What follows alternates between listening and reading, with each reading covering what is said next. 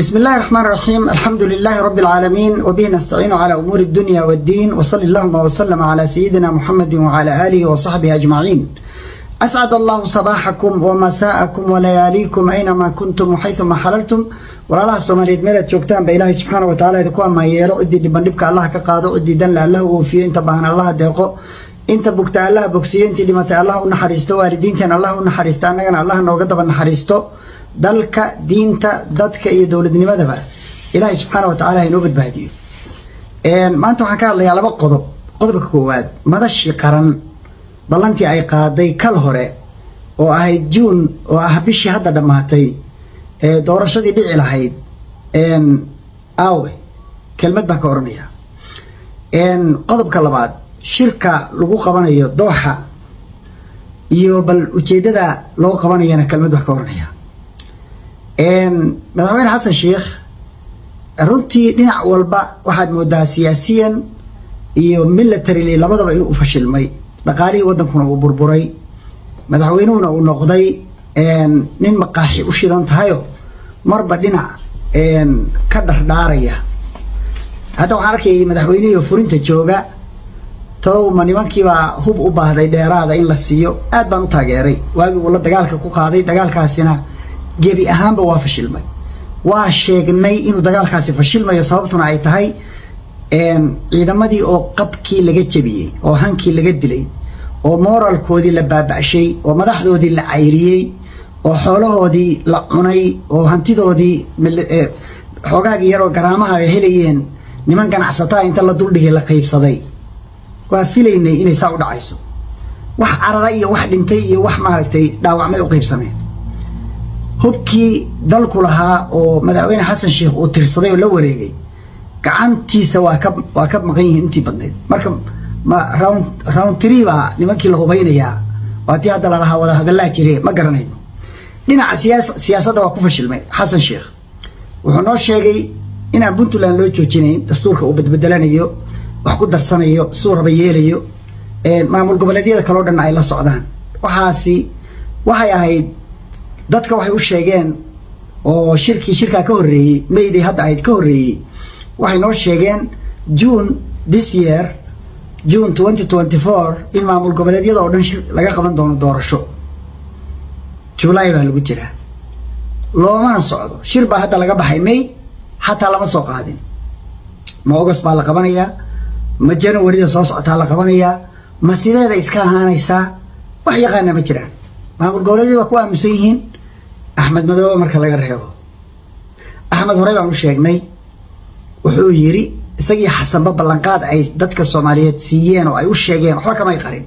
Axmed wuxuu yidhi war anigu halkaan meyd baan la soo galay. Maydna waa kaga baxayaa.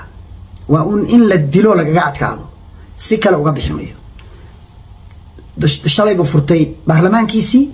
Lugta iyo gacantaba waa u taageen. Waxaa rabtid noo sheeg axmedow waxaan rabaa inaan iska joogo ugu qoray yidhaahdeen.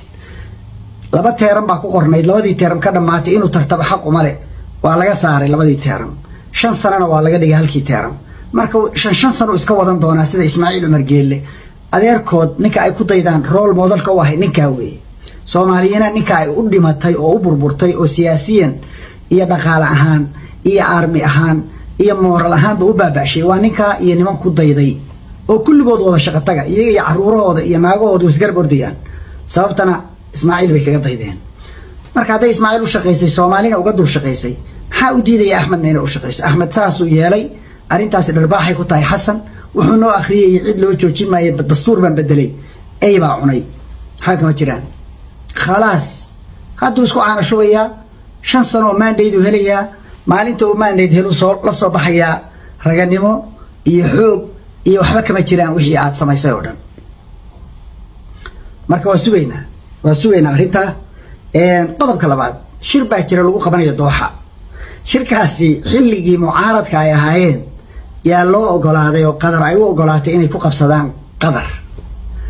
Hadduu ay dowlad yihiin covid nineteen baa ka soo dhex galay hadduu ay dowlad yihiin bay dib haddana u codsadeen. Oo yaa mucaaradaysaan hadda? Haddaad shir qabsanaysaan? Maa muqdisho ku qabsataan? Idinkaa ilaa dowladdii haystee. Mise weli mucaarad baa tihiin oo farmaajoa mucaaradaysaan wax la yaab lay noqotay. Waxaa kaloo ka sii qeybayaa badan ujeeddada hadda laga leeyahay. Ile mucaarad ahayd markaa? Maxay tahay? Waxa ay tahay dowladdu waa ganacsato lacag meelay ku jirtaba. Afar boqol oo qof baa qadar tiri. Waa idiin casumaynaa marka hoteelka iyo diyaaradda iyo cuntada iyo eventiga iyo baa laga bixinayaa. Afartii boqol bay laba ku soo ururiyeen labana waa qaateen lacagteedii dowlad dhan bay rangaraynayaan oo haystaan. Markaasay dowlad kale oo ajnabiya shaxaad rabaan inay kaga noolaadaan. Dadkaasaa la rabaa inay dal maamulaan isaguna waa laga gardaran yahay sida axmed looga gardaran yahay. Wuxuu noo sheegay qabya ninkeedaa dhammaystira. Warhoy waxbaa iga qabyaa war albaabka iiga leexda. Aan ayaama dhammaystirtee? Arma xasanna laga gardaran yahay. Soomaaliyay halkaasay xaaladdu maraysaa waxaan mar kale bogaadinayaa ka hambalyeynayaa difaaca adag oo ay galeen reer city. Ilaahayna waxaan ka baryayaa ummadda soomaaliya inuu soo jeediyo ay taageeraan. Baan ilaahay ka baryayaa. Rajo waxaan ka qabaa in soomaalida degan soomaali galbeed ay xoroobi doonto. Rajo noocaasa ay soo gashay oo aada u weyn. Maxaa yeelay inay kala dhaqaaqdo inay kala dhaqaaqdo ayaa adduunkao dhan isku raacsan yahay. Etoobiya inay kala dhaqaaqayso sida ugu dhaqsaha badan. Marka insha allah waa rajaynayaa. Aad baan idinku hambalyeynaya dowladda d d s na waa u hambalyeynaya. This time shaqo fiican bay qabteen. Mustafow rag baa tahay halkaa ka wad. Dhulkaaga difaaco dhankan iyo jigjiga dhinaca ha ka sii xiga addis ababana triibka labaad ha la galo. Ha layska riixo ciddii soo durugtay oo dhan dib ha loo celiyo. Oromo hadday tahay hadday cid kale tahay canfar waa u sheegaya oromaba walaalaan nahay. Muslim baa tihin ha noogu soo hormarina dhulkayagu baylaha maaha dad baa leh. Ma qabsan kartaan haddaad mar xataa aad dacfi nagu dareentaan berri baan soo laba kaclaynaynaa. Maxaa ka faa'iidaysaan haddaad dhimataan?